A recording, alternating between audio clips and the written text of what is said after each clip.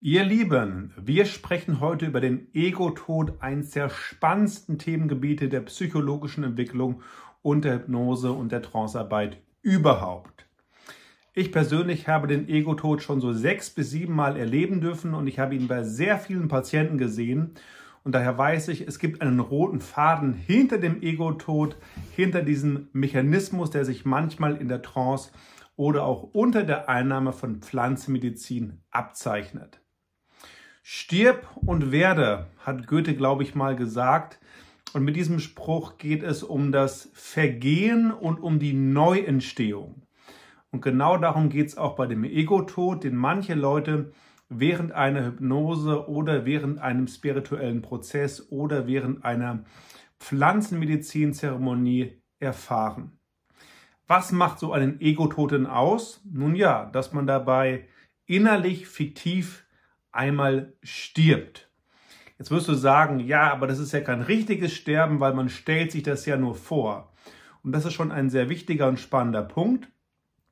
Und zwar ist es so, dass Menschen, die in der Hypnose einen Ego-Tod erleben, wirklich die Angst vor dem Loslassen, die wir haben, die Angst vor dem Sterben, die jedem Menschen innewohnt, sozusagen überwinden müssen und sich aufs Sterben voll und ganz einlassen müssen um den Ego-Tod auch tatsächlich erleben zu können. Das heißt, erst dann, wenn ich mental in der Lage bin zu sagen, gut, wenn es jetzt so ist, wenn jetzt mein letztes Stündlein geschlagen hat, dann sei dem so, dann sterbe ich jetzt halt. Erst wenn du das psychologisch hinbekommen hast, dann wirst du einen vollen Ego-Tod in einer Hypnose oder auch in einer Zeremonie erleben können. Und wenn du mit einem Fitzelchen deines menschlichen, biologischen Bewusstseins festhältst und sagst, ja, ich tue mal jetzt nur so, als ob ich sterben würde, ich weiß aber eigentlich, bin ich ganz sicher, dann erlebst du keinen richtigen Ego-Tod, sondern erst dann, wenn du dich einmal final mit der Angst zu sterben konfrontierst, dann kannst du den Ego-Tod und all das, was danach kommt, erleben und spüren und mit eigenem Bewusstsein erfahren. Jetzt könnte man sich erstmal die Frage stellen, ja, wieso sterben denn manche Menschen überhaupt so den Ego-Tod und was ist das Gute daran? Wenn man sich mal die, Floren an, äh, die Foren anschaut, wo es um Pflanzenmedizin geht, vor allem um Ayahuasca oder auch Psilocybin, dann merkt man, dass häufig der Ego-Tod regelrecht hero, hero, heroisiert wird und ganz viele Menschen darauf aus sind, einen Ego-Tod zu erleben. Das hat einen gewissen Grund, nämlich ist es so, dass viele Menschen nach der Erfahrung eines Ego-Todes wirklich tiefgreifende Veränderungen in ihrem Leben feststellen. Dass sie merken, dass sie leichter sind, dass sie freier sind, dass sie das Leben wieder in vollen Zügen genießen können, was vorher nicht der Fall gewesen ist. Das heißt, man hat gewissermaßen empirisch feststellen können, dass Menschen, die den Ego-Tod einmal komplett durchleben, im Trancezustand oder auch in einer Zeremonie, dass sie danach häufig sich wie befreit fühlen, leicht sind, aufgelockert sind. Und zwar dadurch, dass sie einmal sich fiktiv innerlich erlaubt haben zu sterben.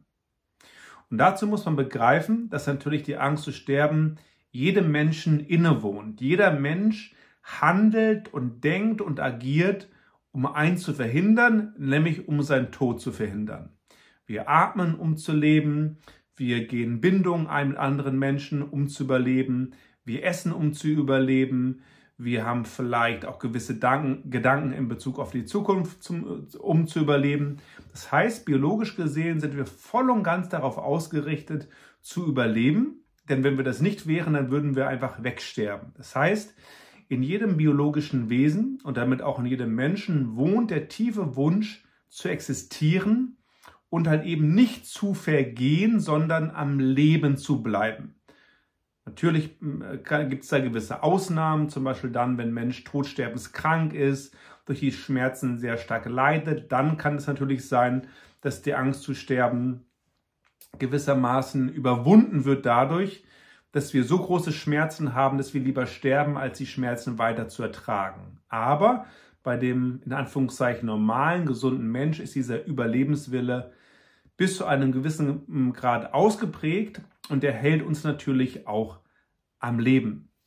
Jetzt muss man Folgendes wissen, dass, und zwar, dass jede Angst, die wir haben, egal ob das die Angst ist, nicht gut genug zu sein, die Angst ist zu versagen, die Angst ist von der Spinne gebissen zu werden, die Angst vor anderen Menschen zu reden, jede Angst, die wir spüren, mündet letztendlich in der Angst zu sterben und damit auch nicht mehr zu sein. Woran erkennst du das? Du musst einfach die Angst zu Ende spinnen, also gedanklich zu Ende spinnen. Was ist, wenn du von der giftigen Spinne gebissen wirst, dann könntest du rein theoretisch sterben. Was ist, wenn du nicht gut genug bist? Du könntest von den Eltern abgelehnt werden, von der Gemeinschaft abgelehnt werden. Du könntest damit verstoßen werden. Archaisch gedacht, mit dem Verstoßen werden stirbst du. Also auch hier hast du Angst sozusagen zu sterben und jede Angst mündet in das Gefühl oder in die Angst zu sterben und jede noch so kleine Angst soll verhindern, dass du stirbst. Übrigens interessanterweise auch alle anderen Gefühle sind sehr stark mit der Angst zu sterben verknüpft, manchmal direkter, manchmal indirekter. Bei diesen einfachen, normalen Phobien sehen wir es ja sehr deutlich. Die Angst von einem Hund gebissen zu werden, die Angst von einer Spinne gebissen zu werden, mündet ganz logisch in die Angst halt eben zu sterben und nicht mehr zu sein. Andere Gefühle sind aber auch Hinweisgeber darauf, dass letztendlich vermieden werden soll, dass wir sterben. Zum Beispiel, wenn du einen geliebten Menschen verlierst, das kann dein Kind sein, das kann dein Ehepartner sein, das können die Eltern sein oder ein Freund, dann weinst du und hast starke emotionale Schmerzen. Zumindest dann, wenn du mit dieser, Mensch, mit dieser Person positiv verbunden gewesen bist. Und die Trauer, die du dann spürst, ist auch ein Ausdruck dessen, dass sich dadurch deine Überlebenswahrscheinlichkeit reduziert hat. Das heißt, auch die Trauer ist ein Gefühl, das dir signalisiert, dass deine Überlebenswahrscheinlichkeit durch den Verlust eines anderen Menschen im Grunde gesunken ist. Genauso auch die Freude, also die Abwesenheit von Trauer und von Schmerz, die Freude oder auch die Verbindung, wenn wir mit äh, Kumpel zusammen sind, eine Gartenparty feiern oder ein tiefes, inniges Gespräch mit dem Gegenüber haben und uns leicht fühlen, uns frei fühlen, dann sind wir verbunden und spüren somit auch die Abwesenheit der Angst vor dem Alleinsein und von der Angst zu sterben. Das heißt, auch alle positiven Gefühle, die wir Menschen empfinden, gehen am Ende darauf zurück, dass wir nicht sterben wollen. So, das heißt, vom Prinzip her hast du begriffen, dass wir so programmiert sind, dass quasi jede Phase unseres Körpers darauf ausgerichtet ist, nichts zu sterben, nicht zu vergehen. Jetzt musst du dir überlegen, dass wir natürlich auch einige Ängste im Laufe unseres Lebens in uns aufnehmen können, die gewissermaßen pathologisch sind, die krankhaft sind. Sagen wir mal, deine Eltern oder Urgroßeltern sind im Zweiten Weltkrieg gewesen, haben starken Hunger erfahren und dieses Hungergefühl wurde transgenerational an dich weitergegeben. Dann kann es heute sein, dass du pathologisch viel isst, also eine Fresssucht hast oder die Angst hast, da die unbewusste Angst hast, zu verhungern und deswegen jede Menge von Süßigkeiten und sonst irgendeinen anderen Kram in dich reinschaufelst. Das kann dir aber unter Umständen gar nicht bewusst sein, weil du nur das Symptom siehst, weil du aber nicht die Verbindung in die vorherigen Generationen dabei siehst. Und per se ist es ja eine Angst, die früher ihre Berechtigung hatte, weitergegeben wurde, um dir heute zu helfen, aber heute keine Berechtigung mehr hat. Also nicht mehr rational ist und auch nicht mehr hilfreich ist. Und diese, sage ich mal, irrationalen, diese neurotischen Ängste, die werden in dieser Angst zu sterben gelöst.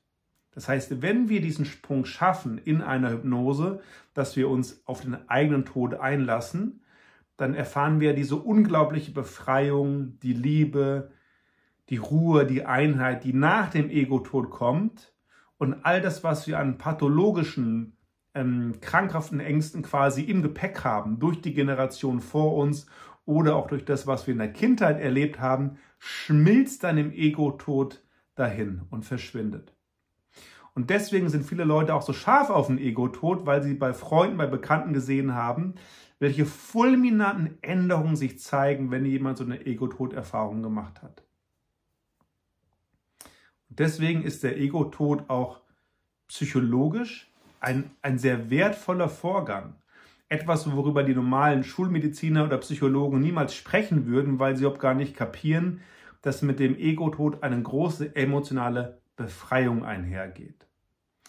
Und das Gute ist, dass gerade wenn du selbst schon mal einen Ego-Tod erfahren hast und bei anderen Menschen Hypnosen durchführst, dass sie vielfach auch die Bereitschaft haben, in dieses Feld zu gehen und auch einen Ego-Tod erleben und dementsprechend auch spirituelle Erfahrungen machen, also Erfahrungen der Einheit machen, Erfahrungen der Liebe machen, Erfahrungen machen, dass es was Größeres gibt und gleichzeitig im normalen, realen Leben eklatante Veränderungen feststellen. Also merken, dass diese, sage ich mal, vielleicht Bindungsängste nicht mehr da sind, dass die Berührungsängste nicht mehr da sind, dass die Angst zu verhungern nicht mehr da ist, die Angst nicht mehr genügend Geld zu haben nicht mehr da ist. Und dementsprechend ist es natürlich unglaublich wertvoll, zum einen, wenn du selbst einen Ego-Tod erfährst, wobei man das nicht erzwingen kann, sondern das ist etwas, was im Regelfall aus dem Menschen alleine heraus entsteht. Aber auch für dich als Hypnoseanwender ist es unglaublich wertvoll, mal einen Ego-Tod erfahren zu haben. Und es ist auch ein wichtiger Teil, den du beherrschen musst, ein Teil Spektrum von dem, was du beherrschen musst, wenn du anderen Menschen mit Hypnose hilfst. Weil sonst kann es sein, dass du jemanden bei dir in der Praxis hast, der sagt, ich sterbe jetzt, ich bin im Grab, ich komme hier nicht mehr raus. Du bekommst es selbst mit der Panik zu tun, weil du gar nicht genau weißt, ob das, was gerade passiert, passiert, gut ist für deinen Patienten oder nicht. Und deswegen musst du halt sowas wie den Ego-Tod nicht nur kennen, sondern du musst auch sicher andere Menschen durch den Ego-Tod durchgeleiten können, damit sie halt eben durch den Tunnel hindurchgehen, auf der anderen Seite wieder rauskommen und die Befreiung erleben, die spirituell ist, aber auch menschlich, biologisch ist, die die Menschen halt beim Ego-Tod erfahren. Das musst du kennen und das musst du auch wissen als Hypnoseanwender, wenn du eine tiefgreifende Arbeit machst.